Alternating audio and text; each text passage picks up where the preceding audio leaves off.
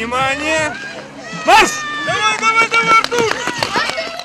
Эти старты не для слабонервных родителей. Их малыши от 5 до 12 лет сегодня спортсмены и выжить себя должны полностью. Счет ведут по-взрослому на миллисекунды.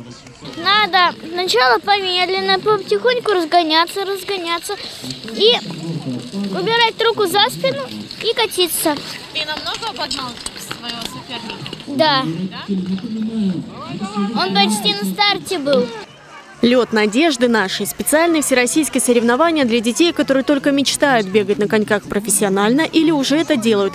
Забеги 100-метровые, так что это скорее большая мотивационная акция, как, например, для Алисы. Ей 5 лет и на коньки, уверяет, стала сама.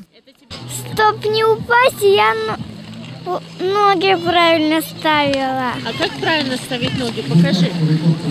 Чтоб стартануть вот так одну ногу. Вот так ты молодец бежала, но ты вот как по прямой бежаешь. Я обсуждала это правило.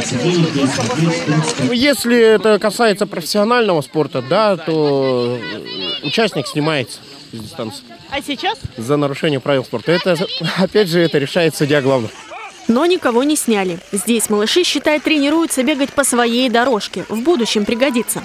Многие из тех, кто приходит на такие старты, идет в Федерацию конькобежного спорта. И хотя занятия бесплатные, сейчас там 300 учеников. Этого очень мало, говорит председатель Иван Башков.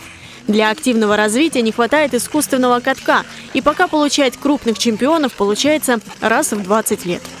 У нас прекрасная тренерская преподавательская школа, которая воспитывает таких чемпионов, как Сергей Клевченя, как Виктор Муштаков, Андрей Бурляев.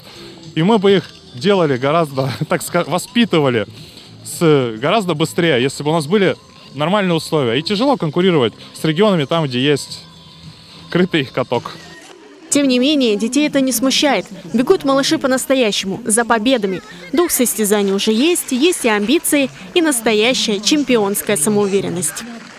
Своих соперников знаешь кого-нибудь? Да, Сильные они? немножко. Анастасия Дороган, Илья Халяпин. День с толком.